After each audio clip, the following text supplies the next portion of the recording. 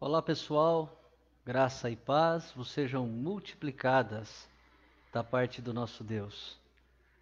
Eu quero aproveitar esse momento, eu estou aqui em oração é, por famílias e também orando por toda a população de Manaus em relação ao que tem acontecido.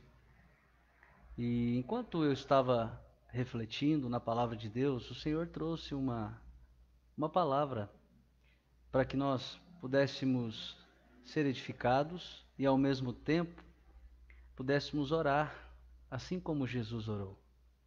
Eu acredito que nesse contexto caótico que nós estamos passando e enfrentando, a igreja, ainda que segura nas mãos de Deus, tem vivido realmente um vento muito forte. Nós temos igreja metodista lá em Manaus, e as notícias chegam e realmente as coisas estão muito difíceis lá. Mas nós sabemos que as coisas estão difíceis em todos os lugares. Mas nesse momento nós temos que canalizar né, a, nossa, a nossa intercessão por aqueles que estão mais necessitados. Eu quero estar lendo um texto da palavra de Deus, eu quero deixar registrado aqui, porque outras pessoas vão poder assistir esse pequeno, essa, essa pequena transmissão que Deus colocou no meu coração que eu compartilhasse com você. A palavra de Deus aqui no Evangelho de Mateus, no capítulo de número 26, fala a respeito de Jesus no Getsemane. E diz assim: Em seguida Jesus foi com eles a um lugar chamado Getsemane e disse aos discípulos: Sentem-se aqui, enquanto eu vou ali orar. E levando consigo Pedro e os dois filhos de Zebedeu, começou a sentir-se tomado de tristeza e de angústia. Então lhes disse: A minha alma está profundamente triste até a morte. Fiquem aqui e vigiem comigo. E adiantando-se um pouco, prostrou-se sobre o seu rosto, orando e dizendo: meu Pai, se é possível, que passe de mim este cálice. Contudo, não seja como eu quero, e sim como tu queres. E voltando para os discípulos, achou-os dormindo.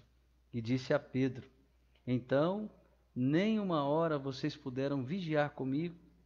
Vigiem e orem, para que não caiam em tentação.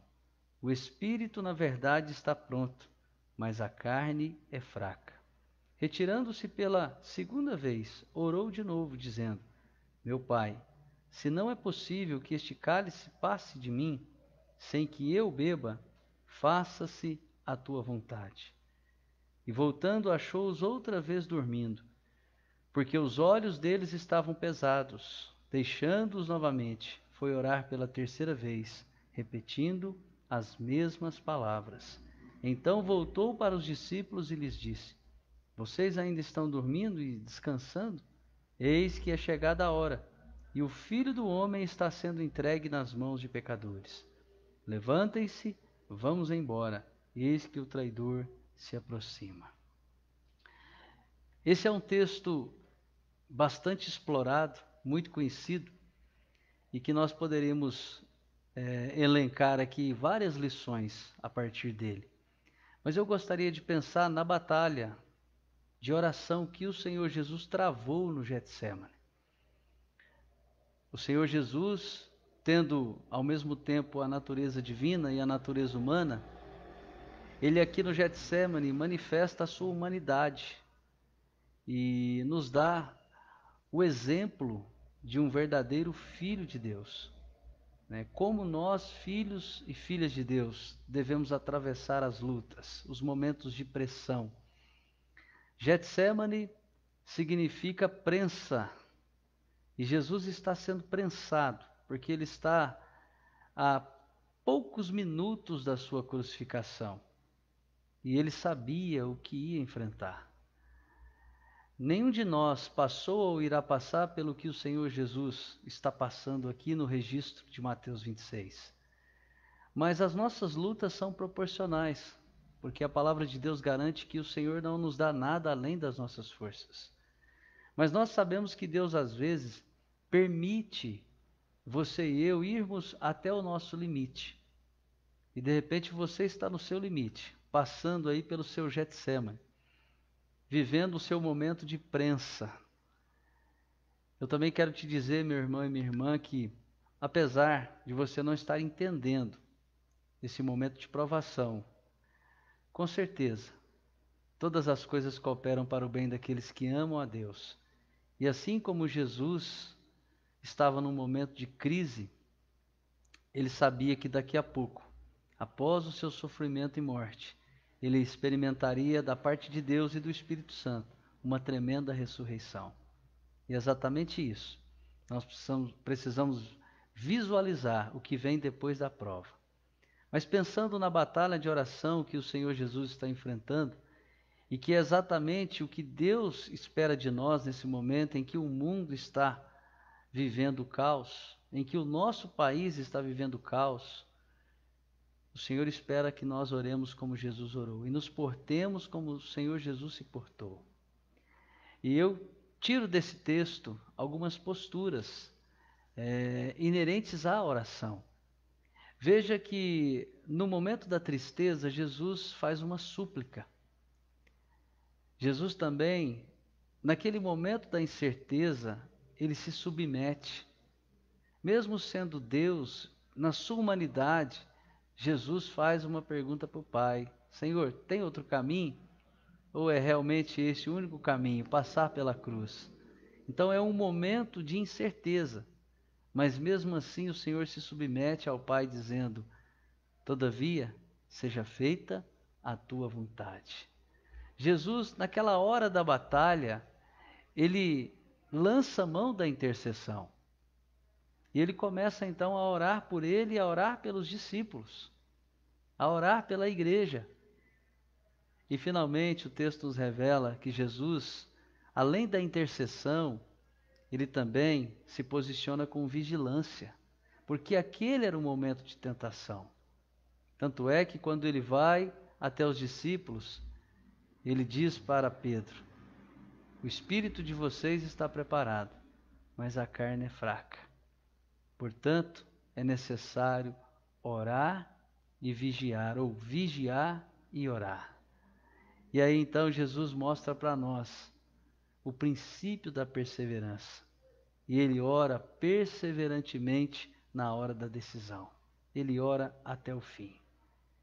Igreja querida, irmãos e irmãs, você que nos, me ouve aqui nessa transmissão, esse é o momento de oração.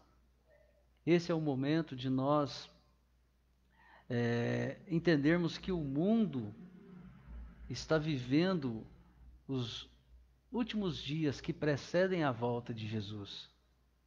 E nós, enquanto povo de Deus, não podemos perder tempo com os entretenimentos da vida. Nós, enquanto Igreja do Senhor Jesus Cristo, não podemos perder tempo com as brigas políticas, com as discussões partidárias.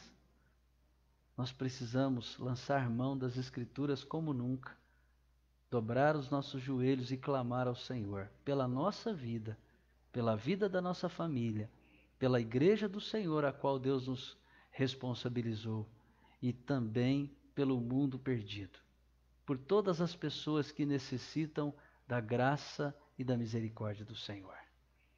Nós precisamos interceder pelos enfermos, pelas pessoas que estão sofrendo com luto, todos aqueles que nesse momento estão chorando. Esse é o nosso papel. E não ficar discutindo política.